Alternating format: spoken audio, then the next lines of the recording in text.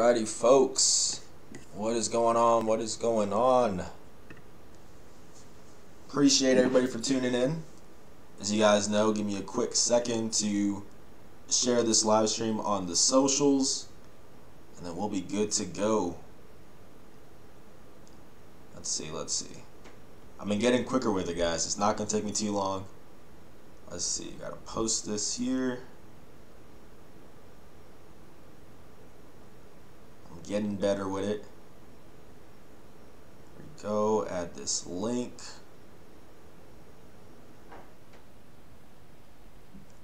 Bam, you see me? You see how quick we're getting?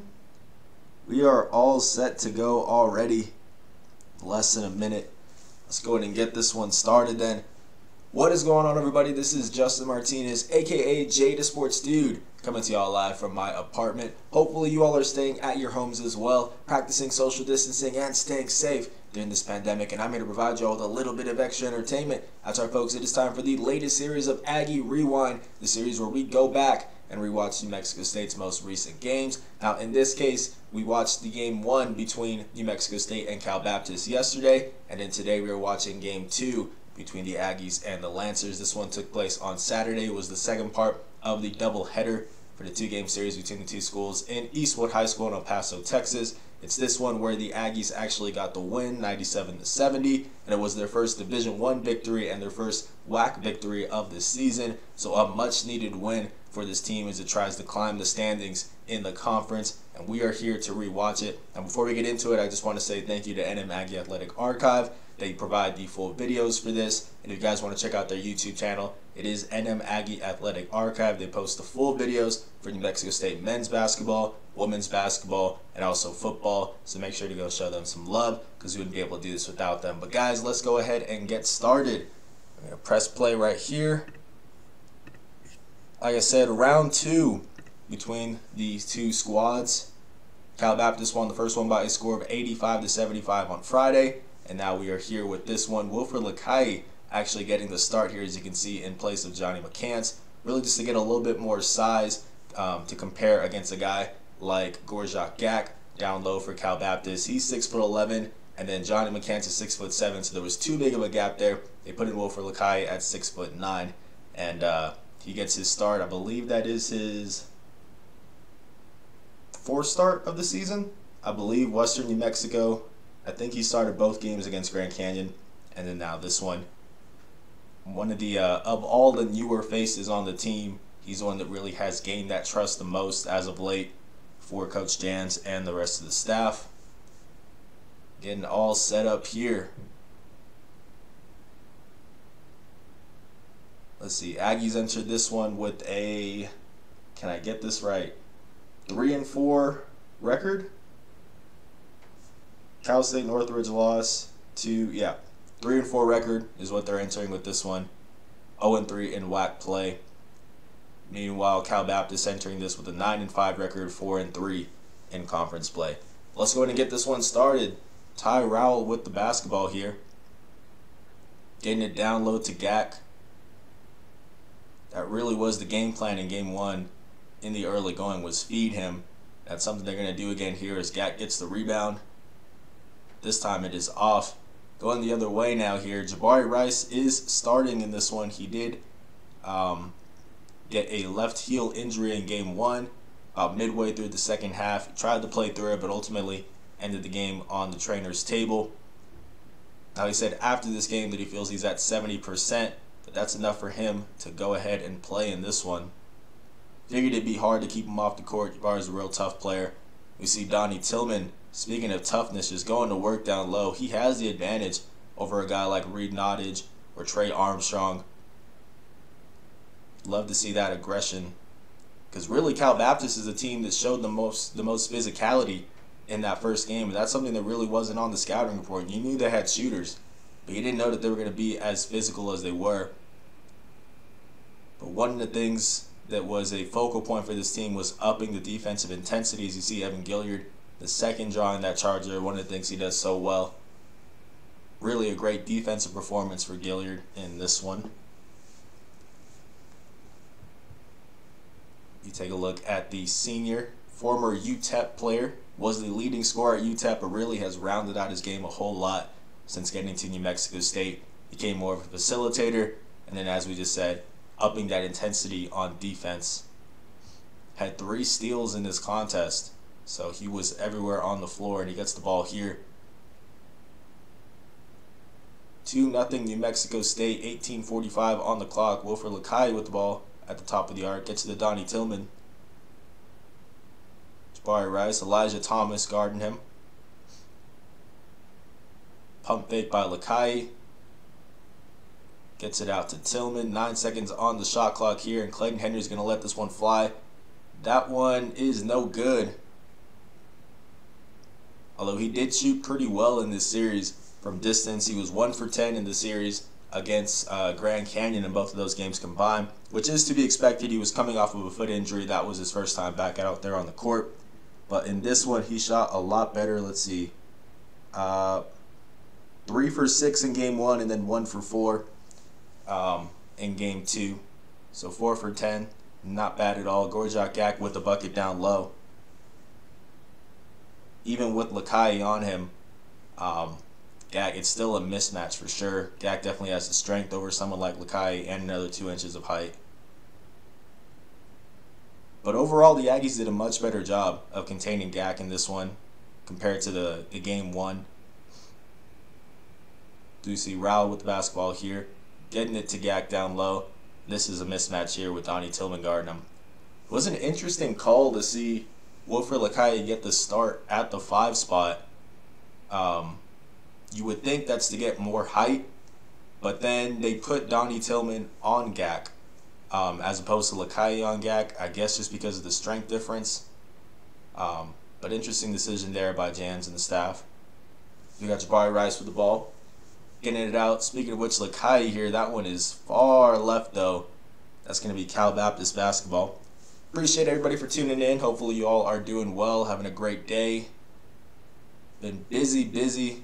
It's been uh, a lot on my plate today. We had our normal sports meeting. Um, I'm wrapping up the the podcast. Just finished the script. I got to record it after this. Um, and then our Sun Spotlight article, which is tomorrow. It's going to be on Evan Gilliard, just highlighting everything he brings to the table, breaking down film from this season so far. Um, so that's going to be on lcsunnews.com tomorrow as we see the lob to Gak. That's too easy yeah, lcsunnews.com tomorrow. I would say probably at probably at 12 o'clock, so at noon is when it'll get published, and it is going to be subscriber only. So you have to be subscribed to the paper in order to check it out, which is only three dollars for the first three months. So make sure to see it. We're gonna make a push, guys, to get more subscriber only content. It's something USA Today wants its papers to do. Um, doesn't mean that everything is gonna be that. So like for these game articles, um, that kind of stuff is going to be just regular where you guys can check it out. Metered content is what we call it. So if you don't have a subscription, you still get, I believe it's three free uh, articles that you can check out per month. It might be three or five. Um, so that'll be the same. But there's going to be premium content to kind of just reward people that are paying for that subscription. So that'll be stuff like the Sun U Spotlight. That'll be any feature articles that we have on players um, which we already have put out a couple like on volleyball. Jason Groves just put out one recently. Um, so that kind of stuff is going to be subscriber only content. But hopefully you guys do subscribe. Uh, Stephen M says, hello all. Appreciate you for tuning in, Stephen. And then Sylvia Grijalva says, Evan played great. Yeah, he definitely did. Uh, really one of the unsung heroes in this one is you see Ty Rowell with the basket here. Um, you know, because you look at guys like Jabari Rice putting up the the 20 points coming off the injury. That obviously stands out. But Evan really did it on both ends of the floor, really set the tone on defense, and then uh, just was really poised on offense. You know, in the two games, he had seven assists and two turnovers. It's a pretty good ratio.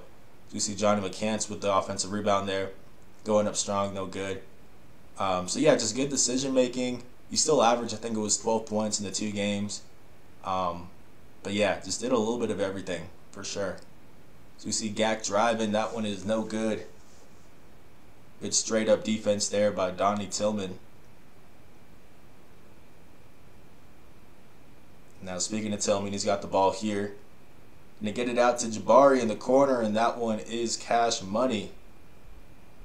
Again, playing through a left heel injury.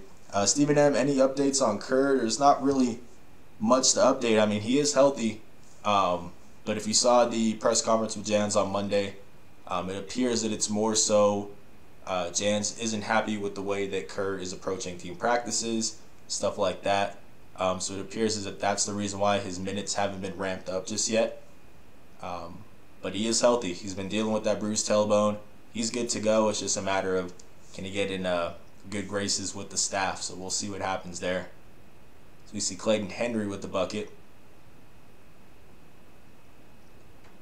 Nottage looking to find Gak down low. That's a good steal there by McCants. Beautiful bounce pass to Evan for the finish.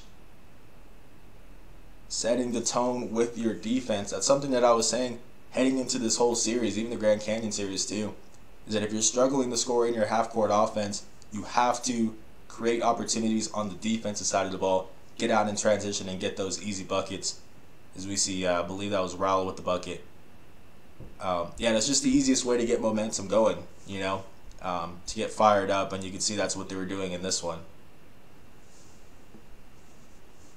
Jabari Rice with the ball here, getting it out to Gilliard on the right wing. Rolling out that screen from Johnny back to Jabari down low to Tillman. He's going to work on Gak and he's going to get rewarded with a pair of free throws here. Gak, the 6'11 Florida grad transfer. As we don't have a score there on the scoreboard, 1406.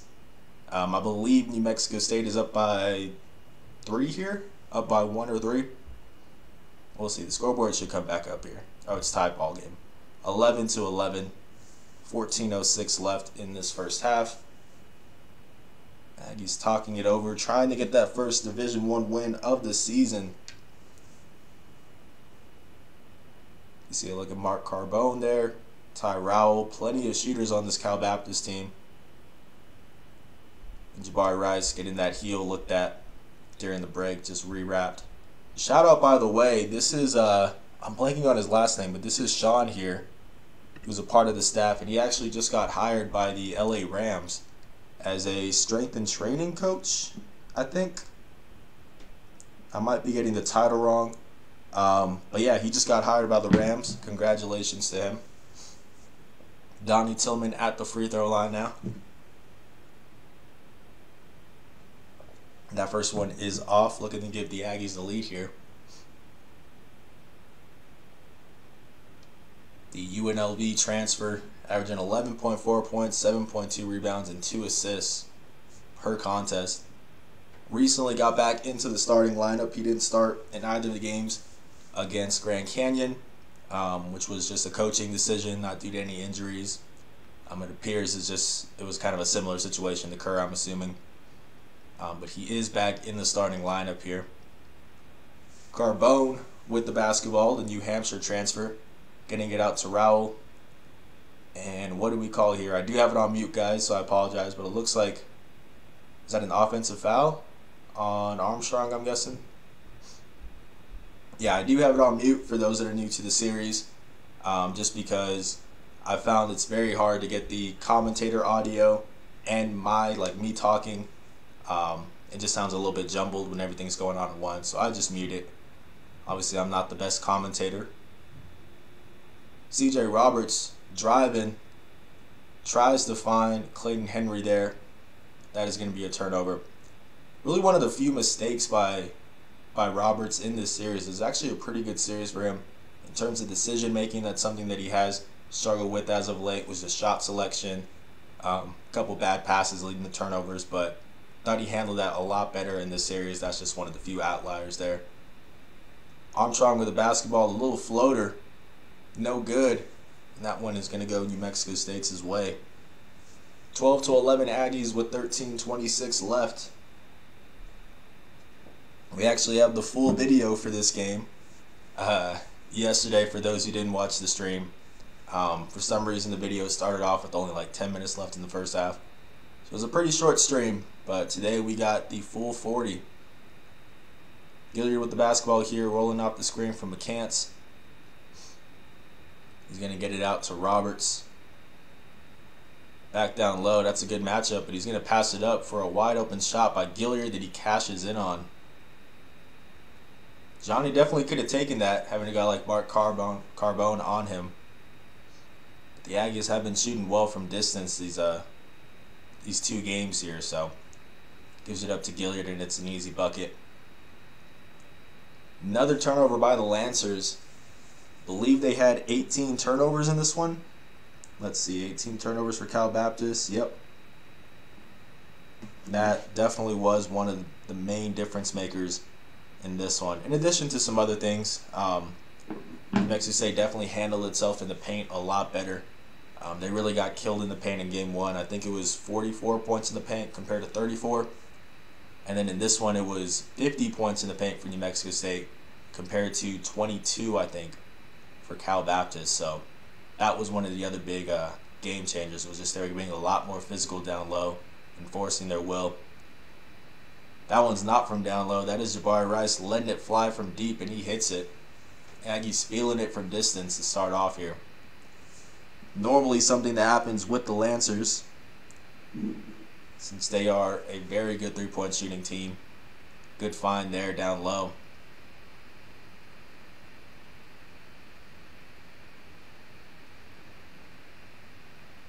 Getting it out here to Johnny. Now Jabari Rice for the basketball here. William McNair in the game. He had a good pair of outings as well. This one he had a career high 12 points, added a block, and then some good defensive stops on guys like Gak down low.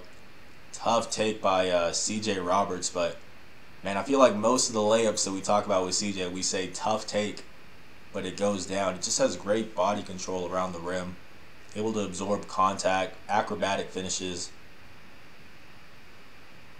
Um, just a really skilled finisher around the rack. Although they are going to call something on here, on him after the fact. I think it was the way that he threw the basketball there. Look at Jabari from the corner. Gorjok Gak back in the game here. Had 18 points on 8 for 10 shooting in game 1. Mexico State really didn't have an answer for him. Although in this one they definitely did a much better job. Held them to, let's see what it was, I believe it was 12 points. Held them to a 13 points. 4 for 9 shooting though. Definitely a big difference from 8 for 10 shooting.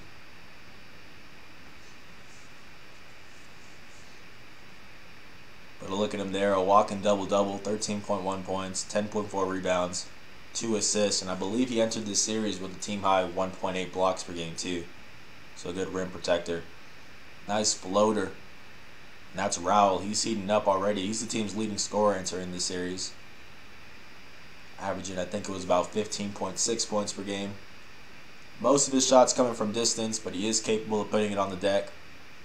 Finishing around the rim, that nice little floater as you can see. Just very well-rounded score for the Lancers. Appreciate everybody for tuning in. Hopefully you all are doing great. Good day so far. No complaints. Jabari Rice with the ball here, getting it to William McNair, who's now in the game to match up against a guy like Gak. A little loose with the basketball there, but it is encouraging to see that Will is actively looking to back people down. That's one of the things, really the main thing that people have um, been waiting to see out of him in order to take his game to that next level. Just being a bit more aggressive, you know. Although that one does lead to a turnover. Poked out of bounds, but this is Cal Baptist ball. Ty Rowell set to inbound.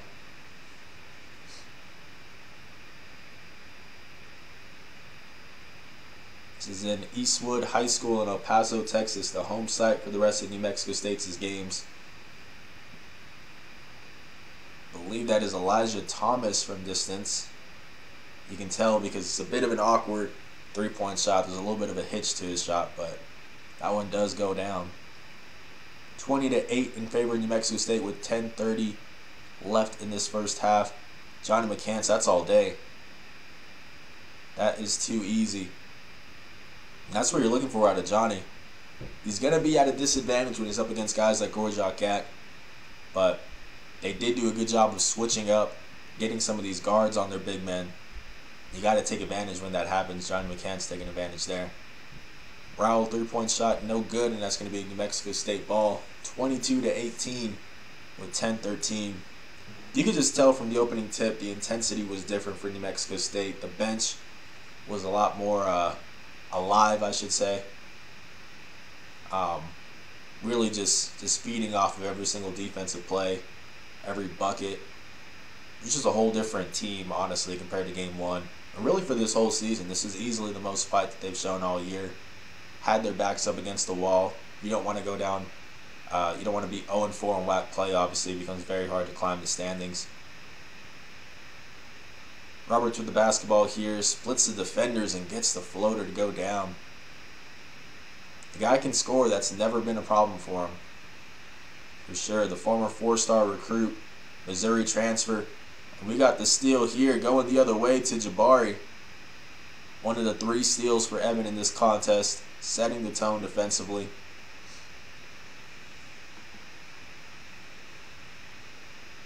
The senior guard for the Aggies. Gak looking to go to work down low. That one is a turnaround shot that rattles in. Not a whole lot you can do.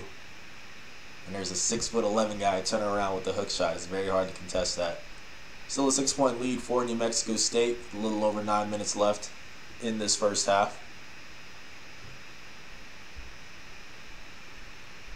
Gets it out to, to CJ Roberts, and once again, touch around the rim. Shot selection much better in this series. Turnovers were down.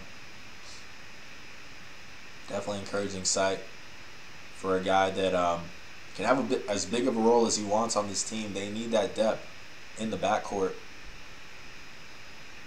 You know, it's really going to be up for grabs between guys like him, Kalen Williams, Gerald Dokes now in the mix. This was definitely a good pair of outings for the Ranger College transfer. Elijah Thomas there. Really strong player. Just bulldozing his way into the uh, into the lane there.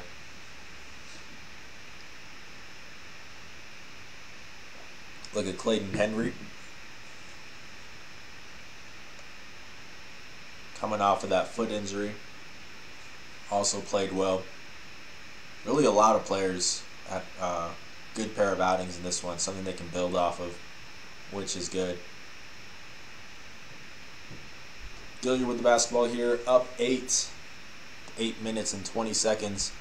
We're going to get a foul on the floor here, it looks like.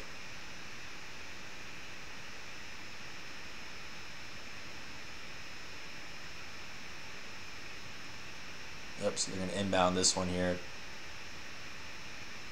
20 seconds on the shot clock.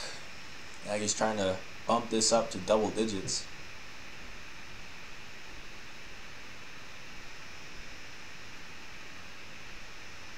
Someone with the basketball here, this is an easy matchup on Nottage. Just got to be physical with him down low. He is, and that's a bucket. That's all day.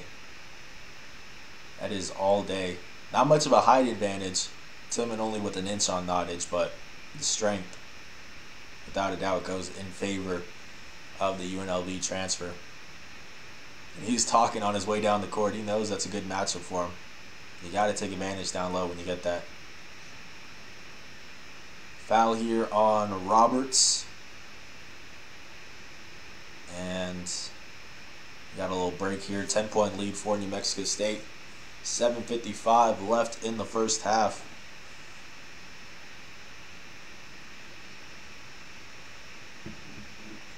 Now that this series is over, New Mexico State is going to be in Seattle this Friday and Saturday to face the Red Hawks. Should be a good pair of contests. Unfortunately, I won't be able to make the trip out there. Wish I could. Um, but we're going to see if maybe I can travel for, uh, you know, Dixie State out in St. George. Maybe Tarleton State out in Stephenville. We'll see what happens. Only one that's for sure is we know we're going out to the WAC tournament. We just got our credentials approved for that um, yesterday.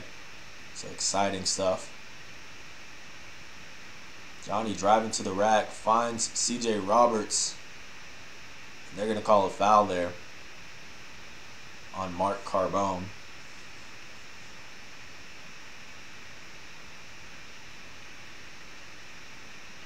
Aggies talking it over in the huddle there. Three free throws for CJ Roberts.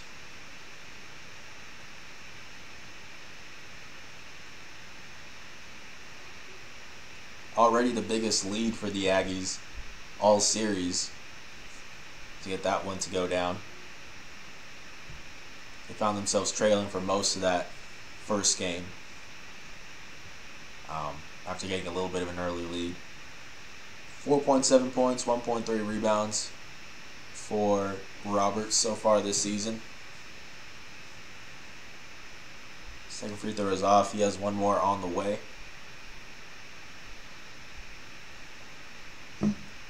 This one is up, and it is also no good.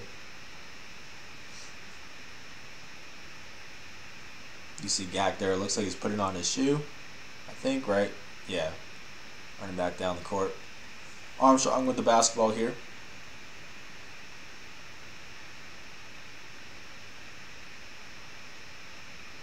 Not a whole lot of three-point shooting for the Lancers here. A little bit surprising. They're really trying to place an emphasis on finishing down low. There's Gak trying to do just that. He will get two free throws. Foul on Johnny McCants.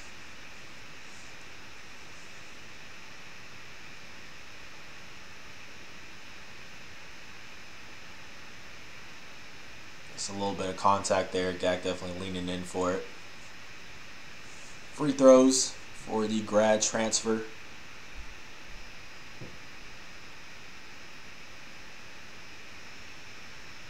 Yeah, and this is just really one example of of a, a big man that's going to cause problems for New Mexico State in conference play.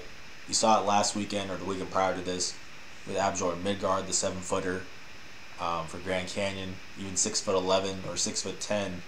Uh, power forward Alessandro Lever. Utah Valley, you got guys like Fardaws Aimaq, who's six foot eleven. Um, Evan Cole, I think, is right around that same height as well. Um, even UTRGV, Jeff Ochiri, six foot eleven. He's been dealing with health issues. Um, hasn't been able to stay healthy, but when he's out there, he's going to cause problems too. Pretty much all of the the main contenders, the main threats to New Mexico State in conference play, are going to have guys that are going to have advantages down low. It's going to be all up to just physicality for New Mexico State to try to make up for that lack of size. Especially if they continue to roll out Johnny McCants to the five spot, which I'd imagine they're going to have to. Um, as you see Willie McNair with the block, but that's a foul. Um, I'd imagine they're going to have to just because when you look at the rest of the lineup, there's not a whole lot of room to move players around. You know, um, like I don't see any scenario where you're going to bench someone like Donnie Tillman in order to move Johnny up to the four. You know, especially because there hasn't really been an, another true center that's really stepped up yet. We haven't seen really any Mayan Kurtz a handful of minutes. Um, Willie McNair has made improvements, but I definitely still wouldn't start him over a guy like Donnie Tillman. So it looks like that is going to be the lineup for New Mexico State. I'd imagine would still be Johnny at the five moving forward. But we'll see. They could change it up just depending on who they face. If they do face a team like Utah Valley, maybe they roll with Wilfried Likayi. Maybe Mayan Kiir's production is ramped up by then. We will see. As we got Clayton Henry with the basketball here, top of the arc. Getting it out to Gilliard, a little fader on the baseline. That's going to go Cal Baptist way.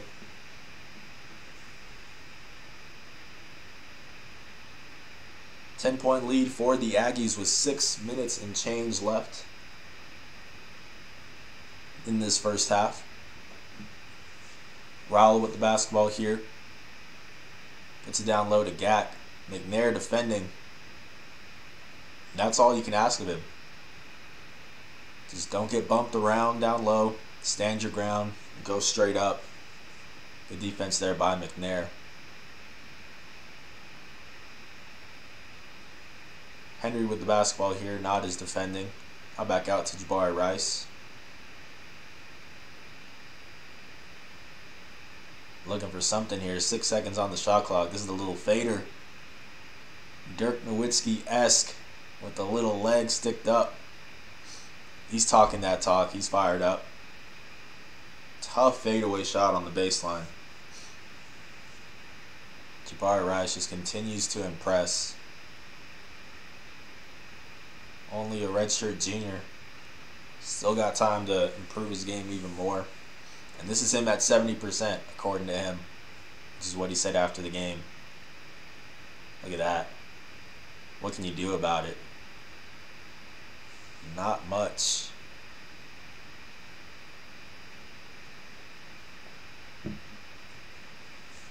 So we got, I believe that's Armstrong sent to inbound the ball here.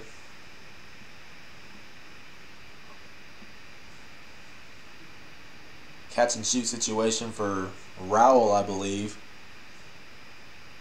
That's too easy. One of the pure shooters in the WAC, without a doubt.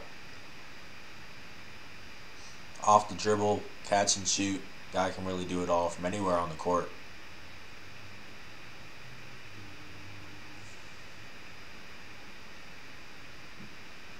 So you got Donnie Tillman with the basketball here. Good find for William McNair, and that's going to be an and one. Great find by Tillman, drawing a double team, keeping his eyes up, even though he's trapped. That's an easy bucket for McNair. Nice. Knocking down Elijah Thomas, I believe, in the process.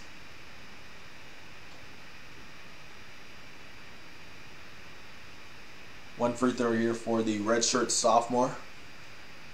Off to a great start in this one. Trying to make it a 13 point lead for New Mexico State. That one is off though. Cal Baptist going to be going the other way.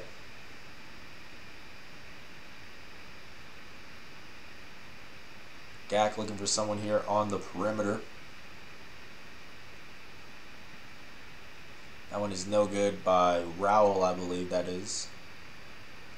Spy Rice with the basketball going the other way. Gonna slow it down here. 20 on the shot clock.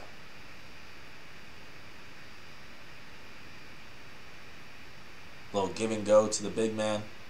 He's going to try to go to work here. That one is going to be a foul on Gak. Almost same as earlier in the game where Gak poked it loose, but that one is going to be a foul. Got a break here. Four minutes on the clock. 12 point lead for New Mexico State.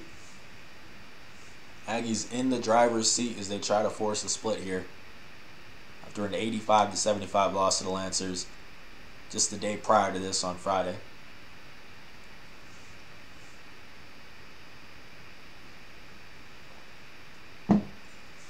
Appreciate everybody for tuning in. If you guys are enjoying this video, please leave a like. Uh, really helps this channel grow. Subscribe if you haven't. Turn on post notifications, all that good stuff. We got plenty of content coming out. Obviously, we'll be doing this throughout the rest of the season. Straight Shooter podcast, um, posting press conferences, whether it be the weekly one for Jans or post game stuff with Jans or players whole lot of stuff going on. Um, we actually just had a video posted by Jason Groves as well. Uh, that one was with New Mexico State football's uh, their linebackers coach, Oliver Suckup. So we got some content other than just basketball on here as well. Plenty of reasons to subscribe. 345 on the clock here, 13 point lead for New Mexico State. Thomas getting the ball on the wing here. Trying to go to work on Tillman. Beautiful read by Tillman. The reaction time there to prevent that uh, that pass down low. Now he's trying to go to work, drawing a double team. And just like that last play, draw the double team, keep your eyes up. Keep your head up, I should say. And just find the open man, William McNair finishing.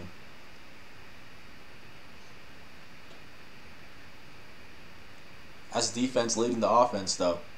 Starts on the defensive end for New Mexico State. Eight turnovers already for Cal Baptist here compared to New Mexico State's is three. It's a 15 point lead for the Aggies. Lancers talking it over here. Look at the uh, Eastwood Troopers, the home site for New Mexico State for the rest of the season. And it's a good gym. It's a good gym. Um, obviously, it's not the Pan Am or just fully up to Division One standards, anyways. But you know, I think it's somewhere in between a high school gym and a Division One gym. Like it could definitely pass for a D two gym, JUCO for sure, that kind of stuff. Um, yeah, it's it's definitely a pretty good setup considering all the circumstances, you know, for New Mexico State. So props to New Mexico State AD Mario Moccia, Deputy AD uh, Braun Cartwright for putting this together on short notice, being able to make this happen. Turnover here, Donnie Tillman going the other way. Gonna get it out to Clayton Henry. That one is off, and it's Armstrong gathering the board. 14 bench points for New Mexico State already. A lot of that is William McNair and CJ Roberts. We got Rowell with the bucket down low. More than just a three point shooter, the guy can put it on the deck as he gets that and one to drop. Lancers still got ground to make up though. Down by 13 with 241 left in the first half. Potentially 12 if Rowell can hit this.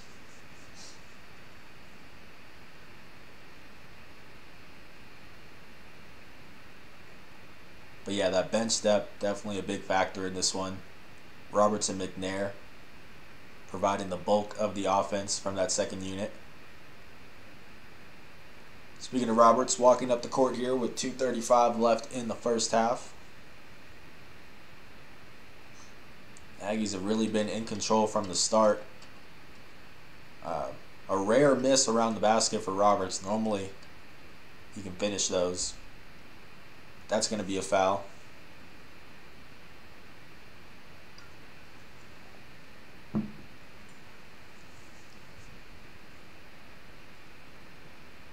You see a look at Reed Nottage there. He had um, 19 points, game high 19 points in game one. Five for six shooting from deep, seven for eight from the floor, I believe. Another one of those lethal shooters from distance. 15 and a half points on the season, five and a half rebounds, 2.6 assists. And he entered the series shooting right at around, I think it was 46% from distance. Lethal without a doubt. Alex M, appreciate you for tuning in, man, and chiming in. So CBU has a good offense, but this is their second 27 point loss in WAC play. Um, yeah, they've they've had a couple games where where the offense doesn't show up, but you know when they get going, they're definitely dangerous. Um, really, the thing which we've been talking about the whole stream and even yesterday too was just matching that physicality. Because um, at the end of the day, New Mexico State has more strength than a team like Cal Baptist, and uh, once they did that, and once they brought up that defensive intensity, really made life difficult for the Lancers on offense. You see Armstrong Armstrong shooting it from distance, no good.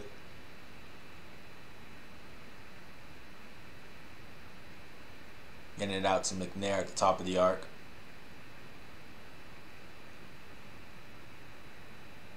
Jabari with the ball here. They're taking this one a little bit slow. 13 on the shot clock, rolling off the screen from Tillman. Jabari, Clayton in the corner. Good find to McNair and yet another finish around the rim for the big man. Taking advantage of the opportunities he's getting here. Career high 12 points for him in this one. In addition to a couple of really good defensive plays, he had a block. Just some good clean contests on guys like Gak down low. Rice going the other way here. Clayton thought about it, getting it out to Jabari instead. I was going to rattle off the rim and out.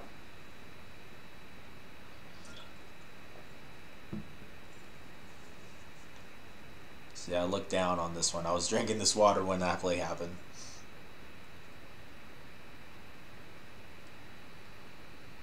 There you go, got the replay.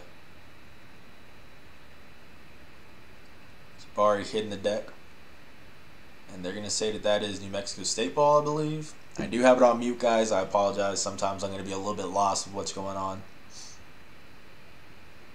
There's a look at the redshirt junior playing through a left heel injury in this one. Really didn't participate in shoot around a whole lot. Um, I don't know what those things are called, but he had that kind of like styrofoam cylinder type thing that you put on your back and you kind of just like roll to stretch out your back more. Um, I don't know what it's called, but that's pretty much all he was doing before this game. He got a couple shots up with like a few minutes left in the shoot around, but primarily just stretching before the game started. You figured he was still going to play though. Um, you know, with him being as fierce of a competitor as he is. Yeah, he did get the start in this one per usual and played really well. Game high 20 points in this one, in addition to some good defensive plays. Aggies in the bonus here, so that's what it was. It's going to be free throws for Jabari. Forty-two to thirty, just under a minute left in this first half.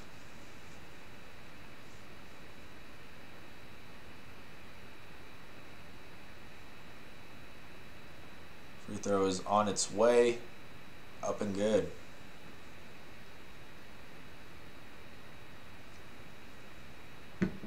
Thirteen and thirteen point eight points, five point two rebounds, and one point eight assists per game so far for the preseason WAC Player of the Year. Doesn't look like he'll end up winning the WAC Player of the Year award, um, just because you know New Mexico State's record isn't going to be as good as we thought it might be at the beginning of the season. Also, guys like, you know, Midtgaard have really stepped up at Grand Canyon, Fardaws Aimaq at Utah Valley. But um, still, without a doubt, you can see the three point shot there. Definitely one of the better players in the conference, no doubt about it. So got the deep shot there just to get that two for one opportunity. That's why you saw the quick release there. So there's a couple second difference on the uh, shot clock.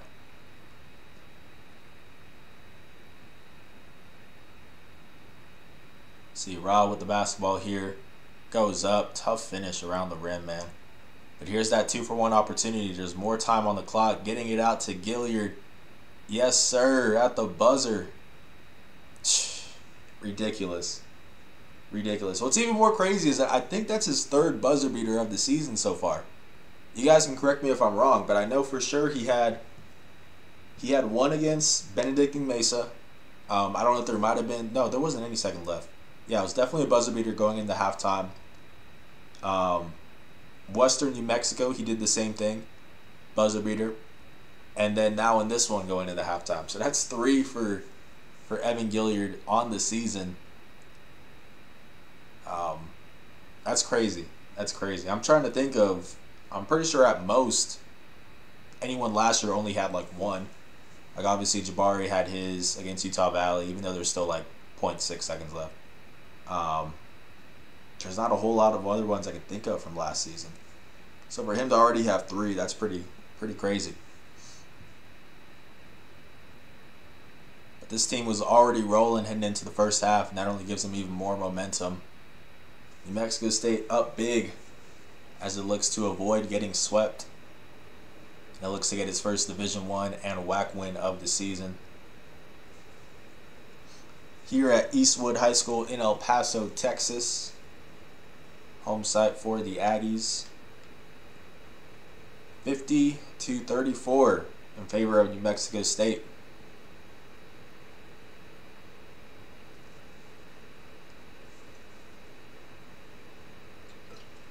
Definitely can't take your foot off the gas against a team like Cal Baptist, though.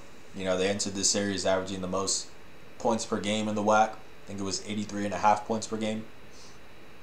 So, high-powered offense. But a great start for New Mexico State. You definitely got to do it for the full 40 minutes against a team like Cal Baptist. So, up by 16 here. Gilyard with the basketball. Starting off the second half. He's going to get into the lane. Take the contact, no problem. bit of a breakdown there for Cal Baptist. Um, sort of sleepwalking there, but on the first play of the of the second half, not a good sign. So we see Rowell with the basketball here, getting it out to Thomas. He's going to get the foul there on McNair. So McNair getting the start here in the second half. It was Wilfried Likayi getting the start for the game.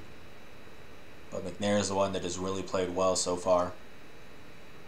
Still looking to go with a little bit more size than a guy like Johnny McCants. Just to match up with Gorjok Gak.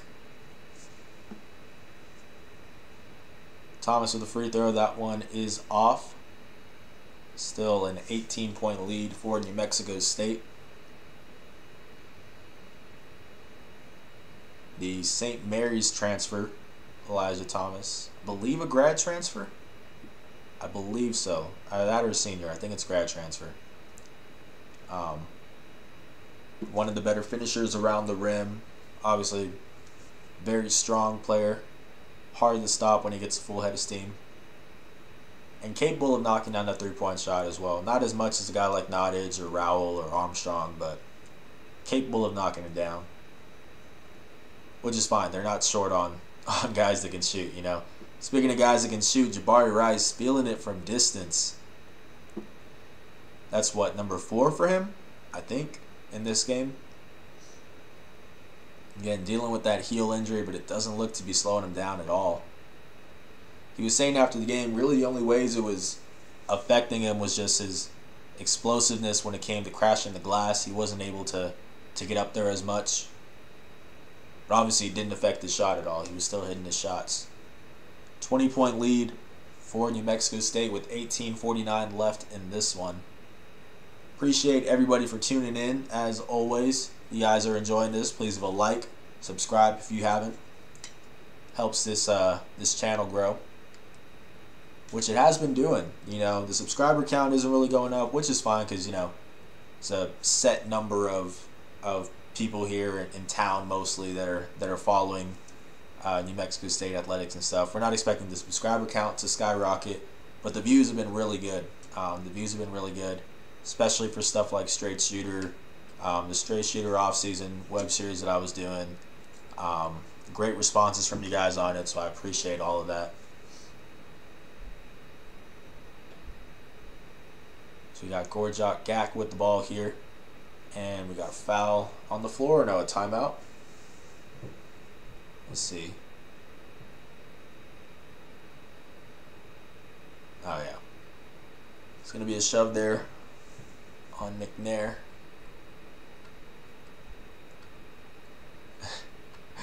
That's pretty interesting. Cal Baptist runs the exact same inbound play, even though they kind of, you know, showed their hand a little bit.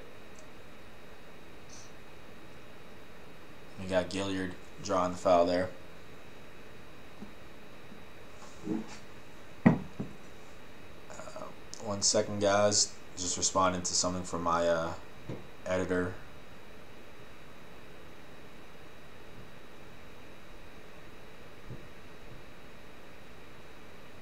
Cool. Just making sure we got everything set up for print paper tomorrow. Uh, Jabari Rice for the basketball here. 20 point lead for New Mexico State, getting it down low to Ill Will McNair. Banging down low, but that is going to be a travel. Second turnover for the redshirt sophomore. Out of Philadelphia. Big Philly Willie out of Philadelphia. Or the nickname he rolls with is Ill Will McNair. That's the one that he seems to like the most. 20 point lead for New Mexico State, 1741 left in this contest.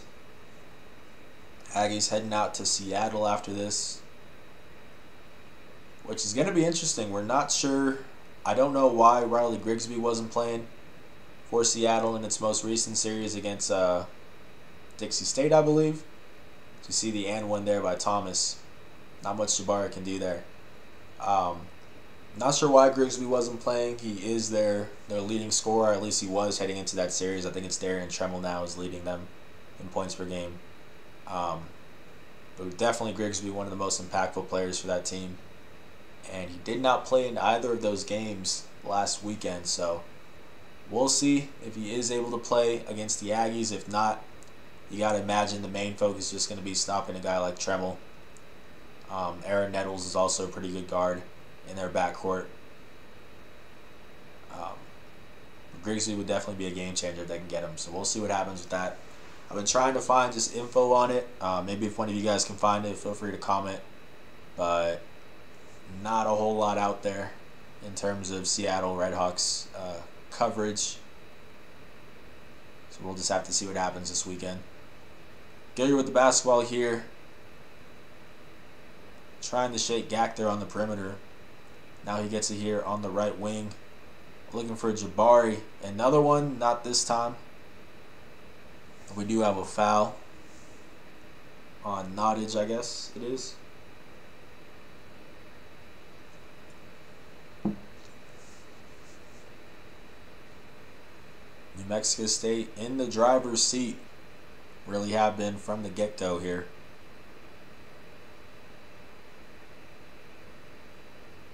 Tillman looking for the ball here. And when he gets that matchup with Nottage down low, he's attacking every time. You know it's coming. I believe that's the third bucket that he's gotten on Nottage down low.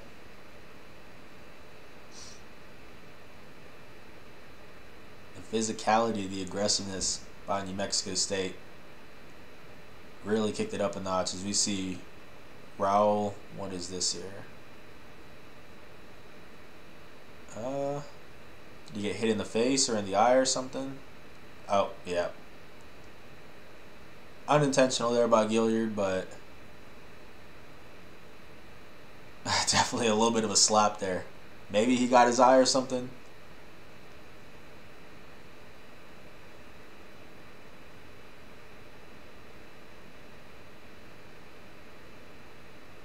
The is getting an earful here.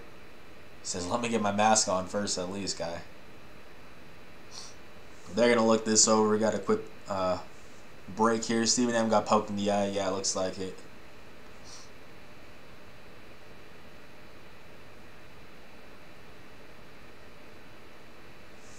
We got a break as we get another look at this one. Yeah, I mean, nothing intentional. But, I mean, definitely contact, you know.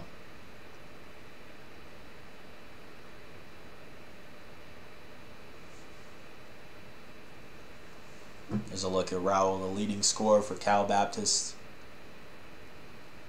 Off to a good start in this one as well. But uh, Lancers still got a way to go. Down by 19, 16 37 left.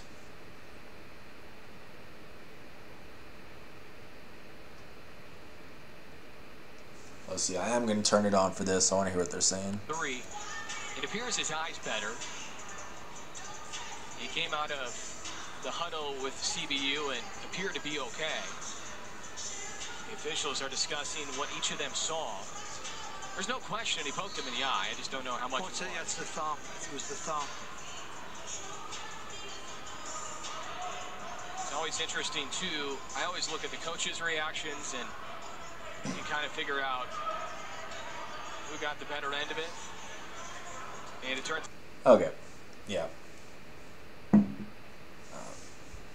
don't know why there needed to be too much of a of a stop there, of a break. Pretty clear, just hitting the eye. Inbound, and let's move on. 19 point lead for New Mexico State. 16.33 left in this contest. Gak with the ball at the top of the arc. Finds Nottage, catch and shoot. No good. Normally that was all money in game one. He was 5 for 6 from distance. Mexico State doing a much better job of containing him this time around. Um, let's see. 0 for 3 from distance for Nottage in this one, compared to 5 for 6 last time. Although really it was Rowell that was doing most of the damage on Saturday. So we see McCants trying to finish down low, but that one is no good.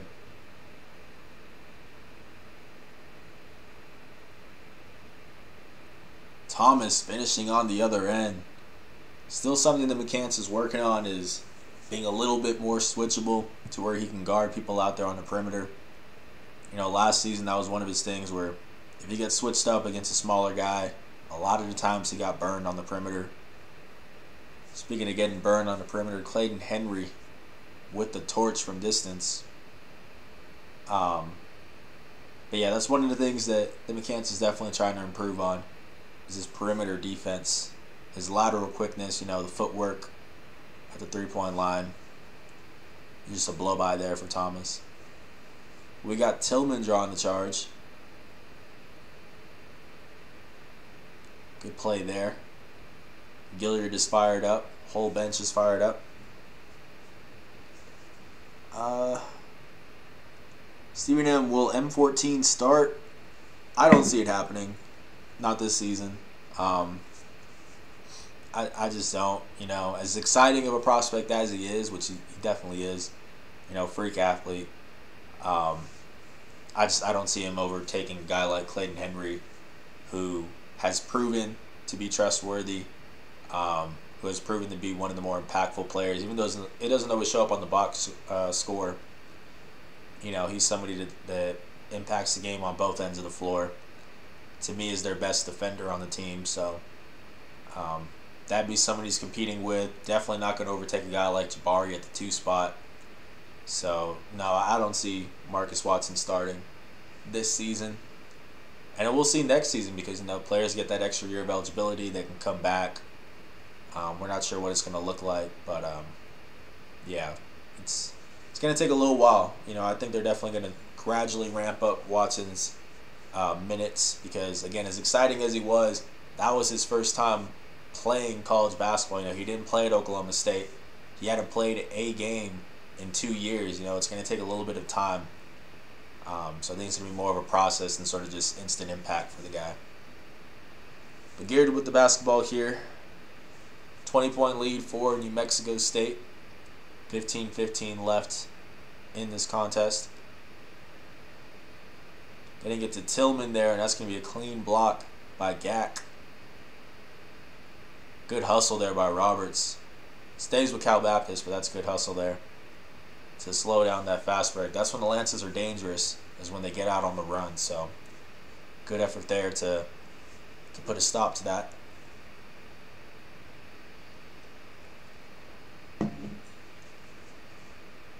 Rowell with the basketball here, rolling up the screen from Gak.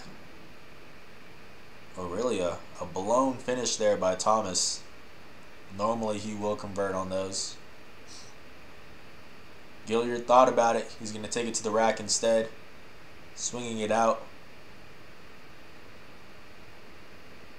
Now we got Johnny finding Clayton. An extra pass. Plenty of ball movement for the Aggies, although it doesn't end up, it doesn't result in the bucket.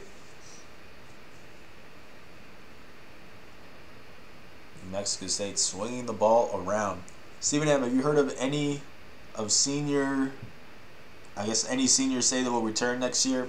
No, they're gonna. That's gonna be something that we'll find out at the end of the season. Um, you know, and Jans has said it too that he's not even really talking to the players about it. Um, it's just gonna be up to them at the end of the year. So, uh, as much as we'd love to know right now, it's it's gonna be something we're gonna have to wait to find out. So we see Thomas knocking it down from the corner, capable of hitting that shot, although it's not his specialty. 17 point lead for New Mexico State. Still in control here, but a lot of time left on the clock. Roberts thought about it there. Now he's going to take it to the hole and throws it away. Thomas going the other way. Good stop there. Let's see. Is that Johnny down low? Is that Johnny scrapping? I believe it is. Alex M. Lots of people started to compare Watson to Wendell after the game. Um, he's an exciting prospect for sure. I really wanted to make him the focus of the uh, the Sun News spotlight for this week, but there's just not enough plays that I could use. I kind of like to to break down at least six plays or like five to six. So there's not enough just yet, but he's an exciting prospect, man. Um, I definitely one of the highest ceilings out of anyone on the team. You could argue the highest ceiling since he's only a redshirt freshman. So we see a nasty step back there by Rowell. Um, yeah, it's going to be exciting to see what he does moving forward. But, you know, it is going to be uh, tough for him to carve out that role. They're not just going to hand it to him. So we'll see just how much he can gain that trust of Jans and the rest of the staff uh, moving forward. So you see Tillman with the basketball here, getting it out to Roberts. Jabari down low. He had that little fader earlier in the half, but this time going to do a leaner, and that one's going to go down. Craftiness from the redshirt junior out of Houston, Texas. Wanted the foul there. I don't think there was there was any foul to be called, but a tough finish. Uh, Stephen M, have you seen the Sean White's highlights from this season? Aggie got a good one in him. As we see uh, Gilyard with the bucket. Yeah, um, I did a little bit of a film breakdown on Sean. I wouldn't call it a breakdown, but I posted some of his highlights um, when he did commit. He looks good. My only thing is just that, and I, I've said it before, is that at six foot seven, at that power forward spot, I think especially on New Mexico State, they look for those sort of in betweeners to be able to expand their range, um, provide a little bit more spacing. And Sean is primarily a rim runner. You know, he's going to throw down some crazy dunks. He's a freak athlete without a doubt. Um, but not much, not much of a game outside of the painted area. So that's what I'm looking for him to improve on. Even if it's just like a mid-range shot, something like that. You know, like CJ Bobbitt last season wasn't the most, wasn't a knockdown shooter from deep, but he was at least able to step out, force you to respect that, and provide some spacing for the team. Um, and so I'm looking for Rashawn to develop that a little bit more. Um, but without a doubt, the dude is an athlete for sure. Throws down some crazy dunks. So I'm interested in seeing what his fit is going to be like on the team. So we got a break here. Stephen M, six foot seven, 220 pounds. Yeah, so power forward type. Um, you know, you wonder how much bully ball can you really play um, at the D1 level at six foot seven, even though he is a very strong player. Um, that's mostly what he leans on at, at the JUCO level, and I just don't know how much that's going to transfer. So I think definitely being able to uh, to expand his range is going to be really big for him moving forward. So you got Ty Rowell with the basketball here. But the Aggies got some athletes coming in. Karan Oliver out of Phoenix Prep. He's been looking really good. He's been tagging me in a lot of his uh, his highlights and stuff like that. And you guys can see that on Twitter. Um, I think I just retweeted one like the other day, so it's at Jay the Sports City if you guys want to check it out. But um, he's a freak athlete, good two way player. Um, I believe at six foot three, six foot four, he is. So like at the shooting guard position, they're bringing in some athletes, for sure, for sure.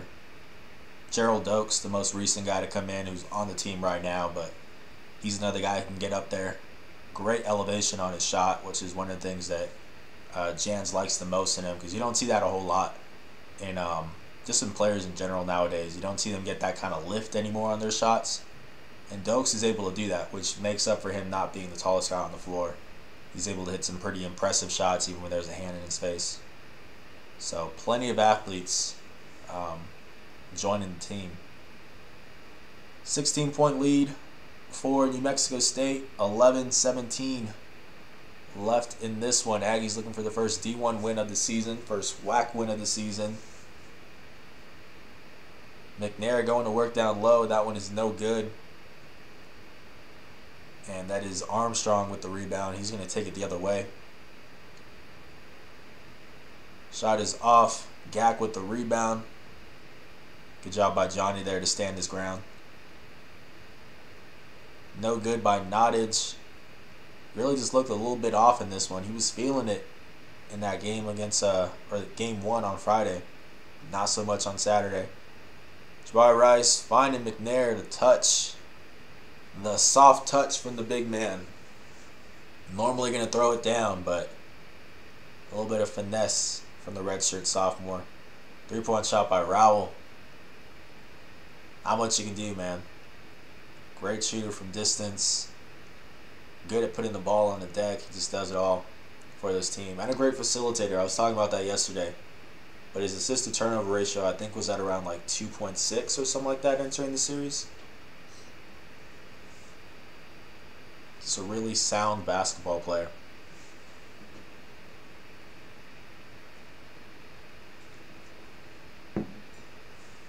See a look at the gym there. Eastwood High School in El Paso, Texas. The Troopers of Eastwood. They had me pretty much sitting up where uh, where this camera is shooting from. So on that upper deck. Not a bad setup. Um, fortunately, the guy who shoots the uh, shoots photos for us, Nathan Fish, which you can see actually he's right here shooting this.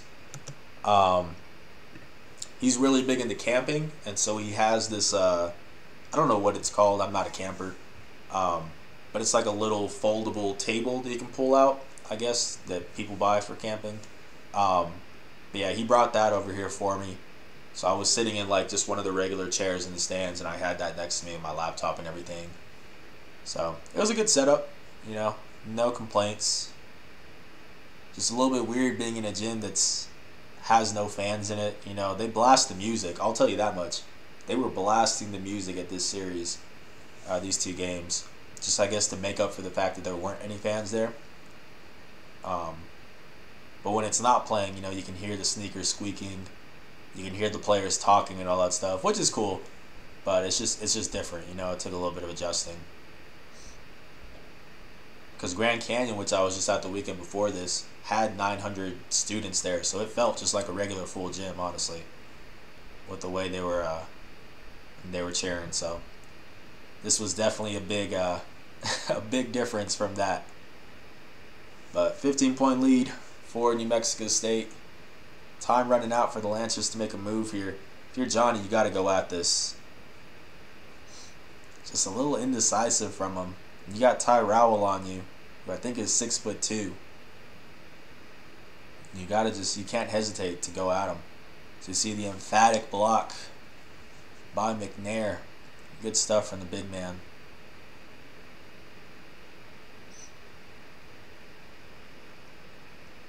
Definitely would be big for New Mexico State if they could get him to play at this sort of level moving forward. Because they need guys to step up at the five spot, you know, especially when you're going to have these matchups like against Cal Baptist, Grand Canyon, Utah Valley, UTRGV, when there are some of these bigger centers, um, Johnny's only only going to be able to do so much. You know, you're going to need guys like Mayan to come in and doing his thing. See CJ Roberts at the layup. Yeah, you're going to need guys like like McNair to come in and and uh, be productive. Mayan Kiir, hopefully, he can start to ramp up his pro- uh, production, provide some valuable PT. It's definitely going to have to be by committee at that five spot when you're going up against guys that are six foot eleven, seven foot, stuff like that. McNair, he's going to try it from distance and knock it down. First three point shot of his career. He hits a couple every now and then in shoot around before the game. I think he did actually in this shoot around. But hey, up 18 points. Feeling himself a little bit after that block. Let's just go ahead and go for it. Let it fly, and he knocks it down.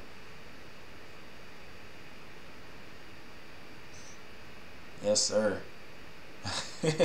Showing off the the wrist there. Good stuff from McNair. Yeah, he's celebrating. He's hyped.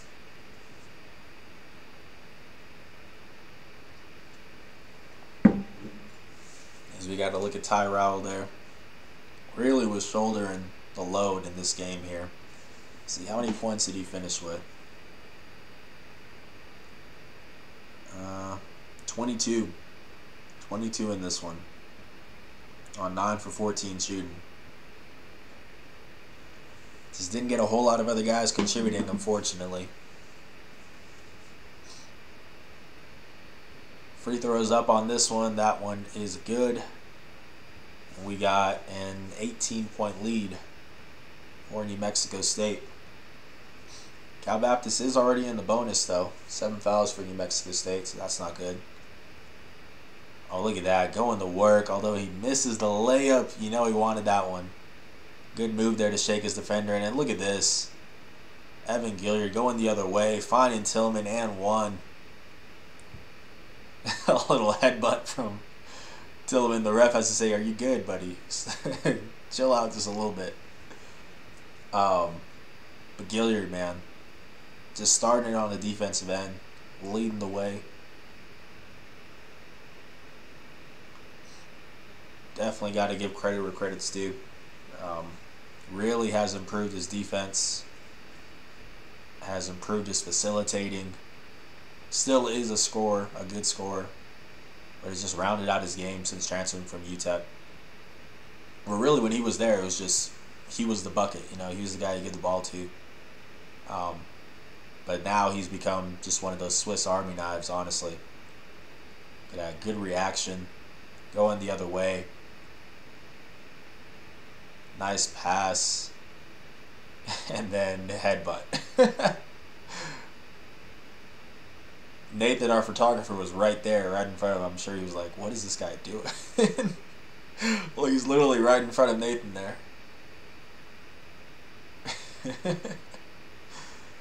Tillman is an interesting guy, man. He's a character, for sure. He is a character. If you guys want to see, uh, you see Marcus Watson checking in.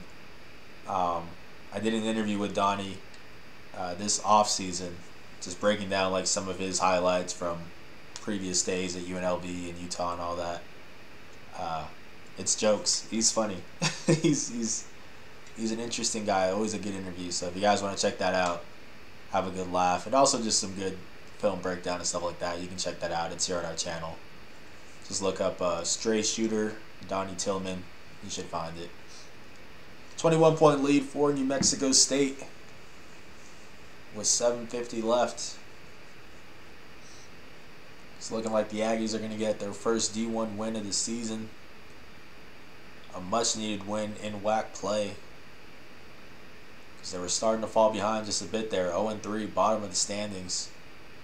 Weird to see the Aggies at the bottom of the standings. I think uh, Sean Buchanan, former Aggie from last season, uh, retweeted like that photo of the standings and was like, this just doesn't look right. he was like, this just looks weird or something like that.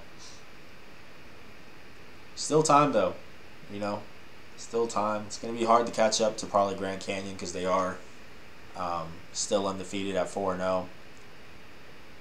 Um, UTRGV is still undefeated, but at two and zero. So, you know, it's gonna be hard for them. I don't see them really getting the one seed. I don't think, but um, they could definitely still get second, third seed, something like that. If they start to pick it up, you know, we'll see if they can really build off this win and get a low run going. Which honestly, I think they will. Um, it's a winnable series against uh, Seattle that they got coming up. After that, what do they have after that? Um, I'm blanking. I'm blanking. Let's see. Seattle and then Utah Valley. That's going to be tough. But, you know, Tarleton State after that, Dixie State after that. Winnable games for sure. Utah Valley is going to be tough, though. Do you see that one just slipping out of uh, McCants' hands. I'm interested in seeing that series between Grand Canyon and uh, Utah Valley, though. Because as good as Grand Canyon looks, it's not that far. They're not that far off from Utah Valley. I think Utah Valley is is going to be just as much of a threat as Grand Canyon. You see Carbone letting it fly, cashing in. High arcing shot over Jabari Rice there. They're still shooting. They're going to keep shooting. They got ground to make up. 16 point lead for New Mexico State. 640 left in this one.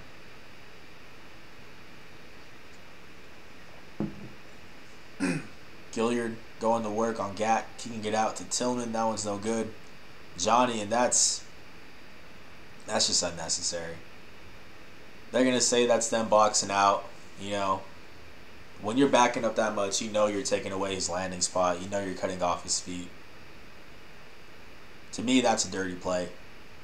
Um, I don't know if they call anything on this. I know they reviewed it. I think they did. They did call a flagrant on this, which they definitely should have. I mean, yeah, when you're backing up that much, you know you're not going to give him a chance to land, and that's dangerous, man. Luckily, he's fine, but that's that's so dangerous.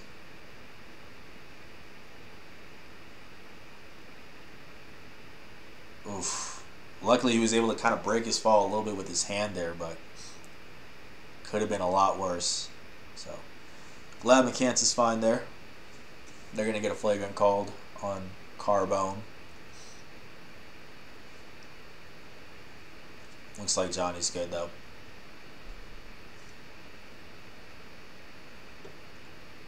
Jans talking it over with the team.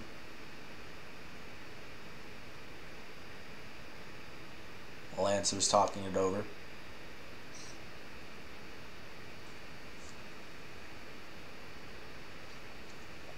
We're reaching the back end of this live stream here. Once this is over, we'll look over the final stats. We'll read off quotes that we got um, from our interviews. We got to talk to Jans after the game and Jabari Rice after the game. So we'll read off some quotes from them. I think it's only one from each of them. Um, but if you guys do want to see the full press conference um, for both of them, it is here on our YouTube channel. Um, all of the post-game press conferences for New Mexico State that get posted on this channel here, along with Jans's weekly post uh, press conference on Monday. So if you guys want to check those out, um, there's playlists. Everything's broken up into playlists here on the channel. So New Mexico State presser uh, pressers is the one where you can find all the the press conferences.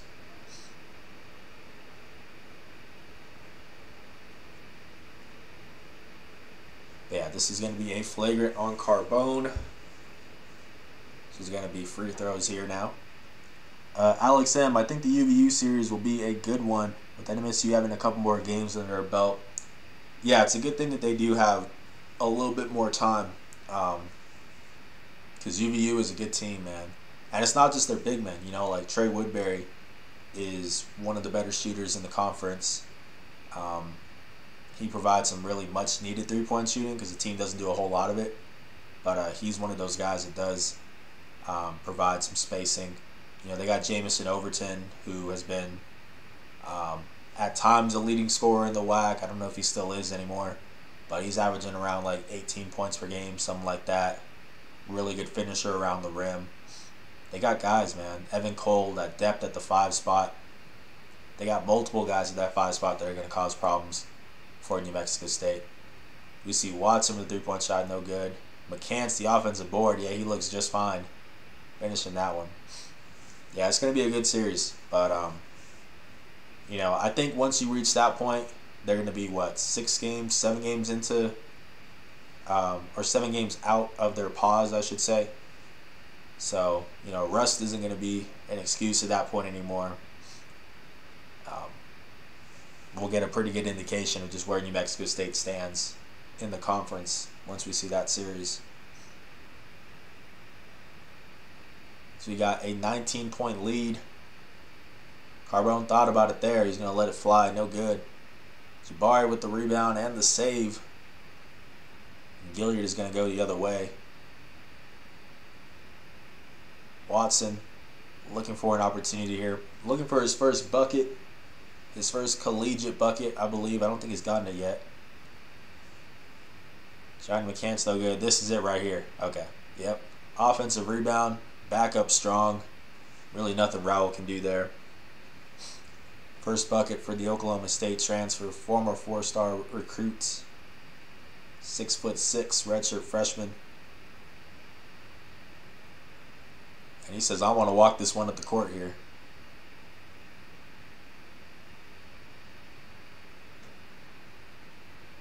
Gets pretty low to the ground when he's dribbling too. I've noticed that. Makes it a little bit tougher to strip the ball away. He gets a three-point shot here. Not really his uh, his forte. He's more of a guy, kind of similar to Elijah Thomas, honestly. Um, I think that's a pretty good comparison. Is that he's going to be a guy that is going to get a full head of steam heading towards the rim and just use his strength. Speaking of strength, Donnie Tillman, tough, tough. Just going to work on Nottage the whole night. Anytime he gets that matchup, he really just went all out for it. Um, but yeah, he's going to be a little bit similar to Elijah Thomas, where he's going to be an aggressor, driving towards the rim, absorbing contact really well. Freak athlete, as you see Jans coaching up the freshman there. Looking forward to seeing what uh what Watson does moving forward, for sure. I know Aggie fans are plenty excited about him. You know, as they should be. So you got Gilyard with the free throws here.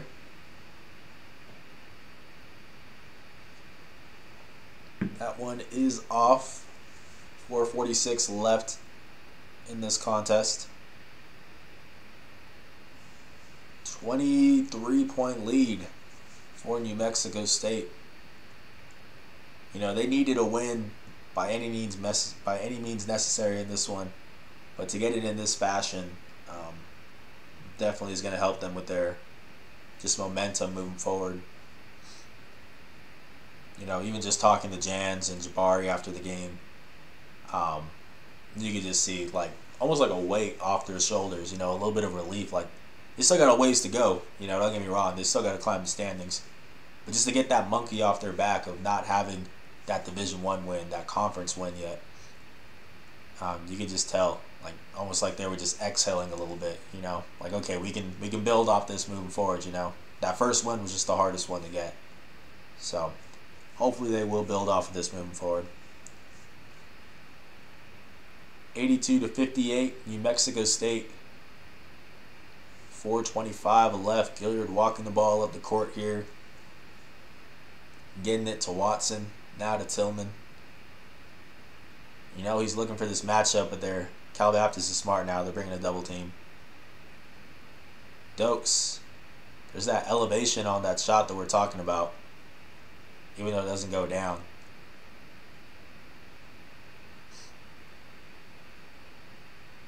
And we got a foul here as Watson was going for the uh, the offensive rebound.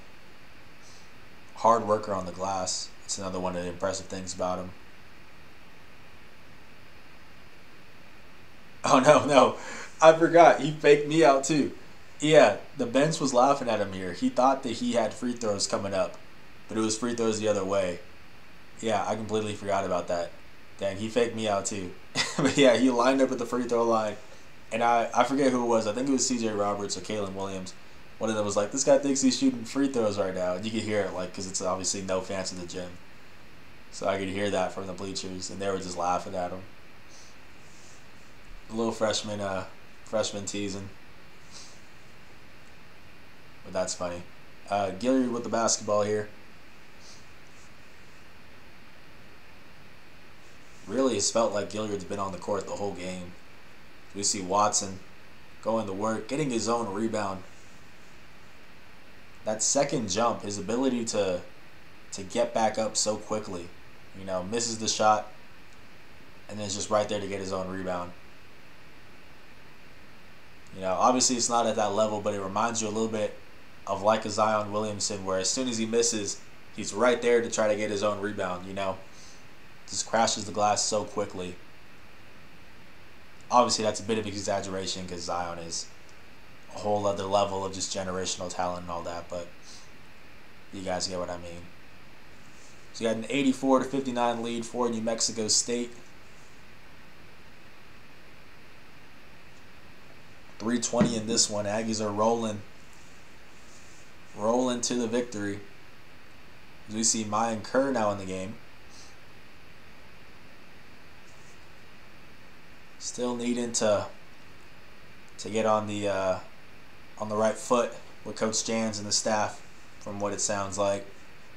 So just some garbage time PT right now, but he's going to be one of those impactful guys for sure. Um, if he is able to to do that and and uh, earn some more playing time. You know, six foot nine, but he's a real strong player down low. Plays a lot bigger than six foot nine. If you look at him right there, you know,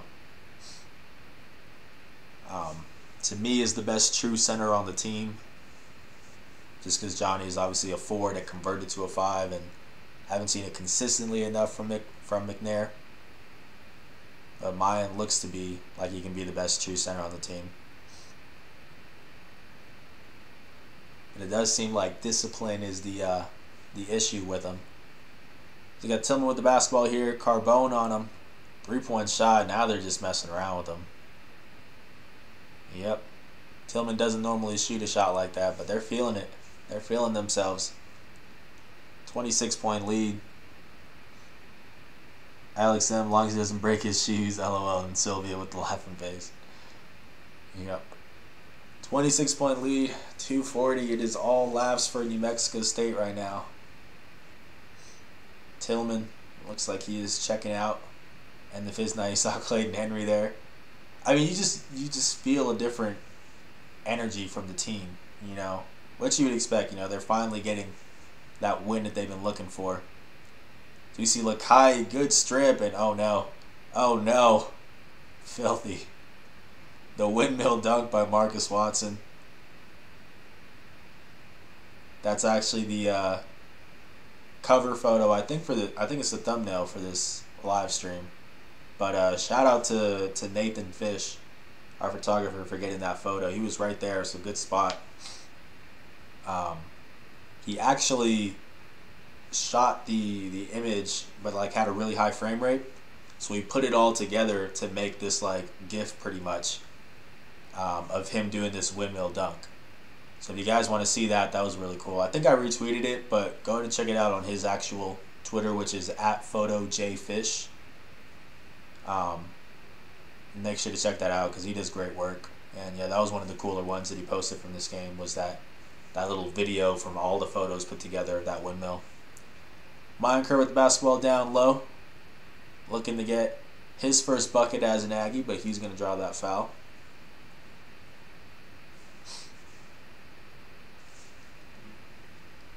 Yeah, that Zion incident breaking his shoes was crazy. I remember the uh, like I remember even the stock went down for Nike when that happened, which is ridiculous. Um, I'm sure it recovered pretty quickly, but I remember it went down when that happened. Um, I forget what shoes he was wearing. I want to say they were Paul George's, but yeah, that was pretty crazy. You've seen that before though, like uh, um, because I grew up a Spurs fan, or my whole family's Spurs fans in San Antonio, because um, that's where they live. Um, but I remember that happened with Manu Ginobili too, where he busted out of like the side of his foot. Pretty crazy. 30 point lead for New Mexico State. Cruising to the victory here over Cal Baptist to force that sweep. So we got a foul on Kiir. Sawyer going to the line.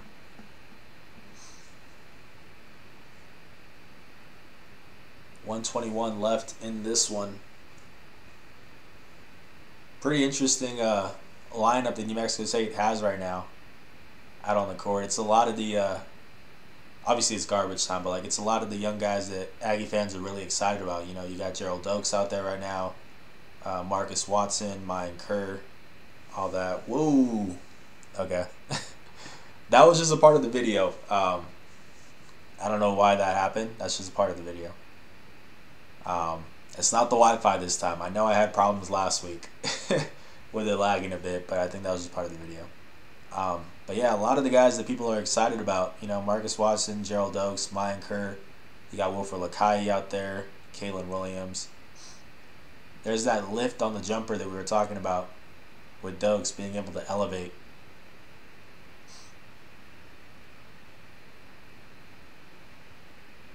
Yeah, if they if this team manages to, you know, not go on pause anymore, to not have any of these games get postponed or canceled anymore, like they can really get some momentum going, there's a lot of reason to be excited. They definitely still have the best roster in the WAC, I feel.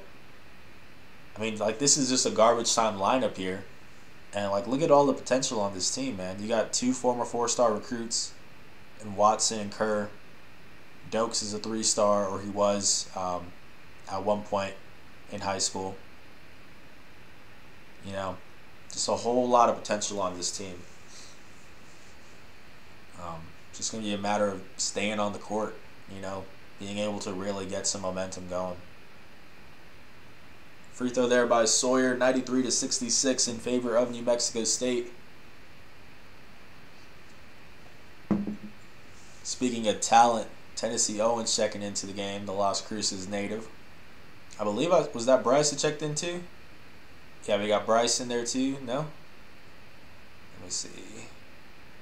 Yeah, we got Bryce in there. The two Las Cruces natives. Um, I'm looking forward to uh, what we're gonna do again, or we're gonna try to set up again, is uh, for the WAC tournament preview episode for Straight Shooter. Well, uh, I'm gonna try to get Bryce in Tennessee to, to host that entire episode with me. For those who follow the Straight Shooter podcast, we did that last season. It's like a oh my goodness, oh my, oh my goodness. I honestly only saw like him getting fouled on that three point shot in real time when I was out there covering the game because I was like already trying to finish up the article, get it written up. I didn't know he crossed over that guy beforehand. Look at oh my, oh man, that's ridiculous. That's that. That's that being low to the ground with that crossover that we're talking about. You know, it's so hard to, to strip the ball away from him when you do that. Jeez, that was filthy though. I didn't see that whole film, I mean that whole clip. Because um, yeah, I was I was trying to wrap up this article. You know, my deadlines are five minutes after the game's over, so right around now, you obviously know New Mexico State's won, so I'm I'm just trying to get it all finished. Dokes with the ball here. He's gonna run this one out, get it out to Kiir, and that's the ball game, folks. 97 to 70, New Mexico State getting the win, improving the four and four on the season. Um, one and three in WAC play. Still a ways to go, you know. Still got to climb those standings, but that first one, that first win is the toughest to get. So encouraging sign for New Mexico State. We're gonna take a look at these final stats here, followed by quotes from the team before we get out of here. Uh, for New Mexico State, team high 20 points, um, three assists. I'm sorry, three rebounds, two assists for Jabari Rice, 19 points and four boards for Donnie Tillman, and then a career high 12 points for William McNair. So great performance out of him off the bench. Let's look at the shooting splits. It was 37 for 62 for New Mexico State. That's 59.7% from the floor. And then 10 for 25 from distance, which is 40%. And 13 for 20 from the free throw line, 65%. Um, offense on point, you know, but defensively, I think is where they really uh, generated most of their momentum. You know, they had 18 fast break points, 23 points off of turnovers. That's definitely what uh, really got them going. A look at Cal Baptist, game high 22 points for Ty Rowell, or Rowell to go along with five assists, although six turnovers. They did a really good job of uh, forcing mistakes, New Mexico State did. And then 14 points for Elijah Thomas, 13 points for Gorjok Gak, on 4 for 9 shooting. Reed Nottage, only 4 points on 0 for 4 shooting after having a game high 19 points in game 1. So they did a much better job of containing him. 22 for 47 from the floor for Cal Baptist, that's 46.8%. 6 for 12 from distance, that's 50%. And then 20 for 25 from the charity stripe, that's 80%. Um, yeah, New Mexico State did a great job of running them off the three point line. You know, only 12 attempts for Cal Baptist is pretty crazy. Um, I don't remember the exact percentage, but I want to say there were like 20 something in the country in terms of uh, like percentage of their points coming from the three point line. So they really lean on that on that three point line, that three point shooting. But uh, New Mexico State did a good job of running them off the perimeter there.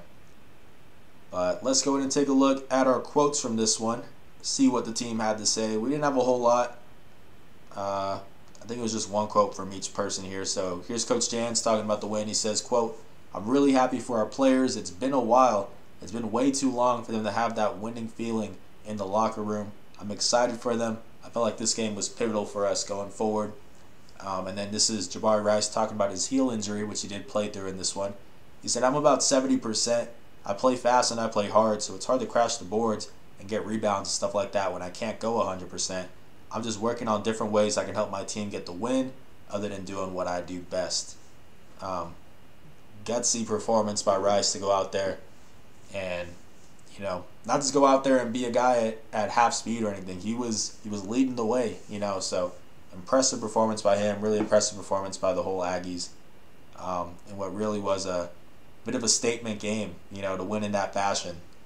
So good stuff there. Um, Friday and Saturday will be New Mexico State at Seattle. Um, we're gonna rewatch those games on Monday and Tuesday, like we always do. It's gonna be at 7 p.m. Mountain Time for each of those uh, Aggie Rewind episodes. So make sure to stay tuned and watch those with me. I hope you guys join me for that. But in the meantime, we also have some more content tomorrow on lcsunnews.com. We are going to have the Sun News Spotlight article, which is going to be on Evan Gilyard, breaking down his film from the season, talking about everything he brings to the table. Um, really good stuff that'll come out at noon tomorrow, more or less, at about 12. Um, and then at 5 p.m. Mountain Time tomorrow, we will have the straight shooter episode where we're going to recap this Cal Baptist game, just get my running takeaways from it, um, predictions for the rest of the matchups around the WAC this week, and then, of course, a preview of the Seattle series. So, a whole lot of content coming your guys' way. I hope that you all check it out. If you enjoyed this live stream, please leave a like, subscribe if you have not, and turn on that post notification bell. I appreciate it because it really does help this channel grow, guys. But thank you so much for tuning in. I think that is all that we got. Um, so we're going to wrap this one up. This has been Justin Martinez, aka Jada Sports Dude, and I'm out.